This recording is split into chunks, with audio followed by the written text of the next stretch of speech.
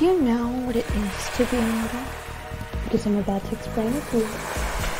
Our existence here is truly to find out what each and every person has to do to help the food chain.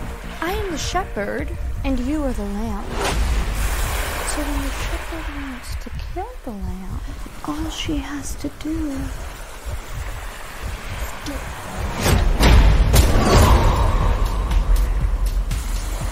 You guys are new neighbors? We're the Jenkins. Everybody calls me Amber. This is my best friend, Beth. I'm Julie. This is my son Jeff and my daughter Cynthia. I'm Cynthia, but I prefer Cyn for short. I think there's something off about the Jenkins. Oh my goodness. You are so paranoid. You really need to get over this. Things aren't always as they seem. For all we know, they can. The likelihood that vampires moved in as your neighbors is super unlikely. Those things are super rare.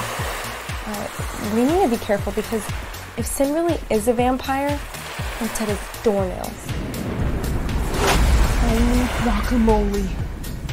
She's a damn vampire. Monsters are real and I'm not using a hyperbole. Do you remember that when I was young, how you would always say when you have a lead that you should follow it? Yeah, but I say those things just to sound encouraging. I didn't think you'd take it literally. We've been seeing some strange things. Sin has been digging holes in her backyard. And I swear, I saw her climbing up the wall. All vampires die differently depending on their age and how strong they are. Sometimes it even takes a silver stake or complete decapitation or incineration. Sin, it looks like you might have some pizza in your teeth. Amber! Look, Dad, look at Sin through the mirror. Tell me what you see. I see a nice girl who's not trying to embarrass her father. Holy moly. Looks like I got one ticket to the freak show.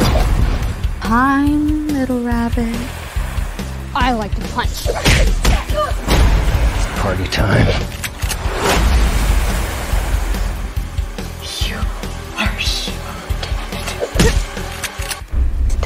for you to